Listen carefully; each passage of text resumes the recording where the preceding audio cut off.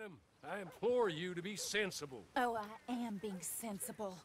I swore I would kill them, each and every one of them. From the way I see it, I will do. I'm afraid my mind's made up. But Mrs. LeClerk, Teddy Brown, he's just a second-rate, common, no-good horse thief. You kill him and the rest of his boys, well, you'll wind up in jail, or worse. And we will never find out who killed your husband. You know it, and I know it. I believe Teddy Brown killed my husband. If he did so, he did it on behalf of his sister, her husband, or Jeremiah Shaw. Perhaps. Besides, he's holed up in there, besieged by marshals. marshals. What good did a marshal ever do anyone? That's why we'll send in our professionals to get the job done, and no one will know you had anything to do with it. It's too early to show your hand, madam. Okay.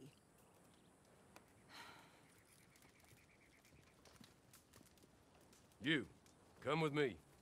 And remember, these are the people that put you in jail, so don't overly concern yourself with pity. Madam, stay here.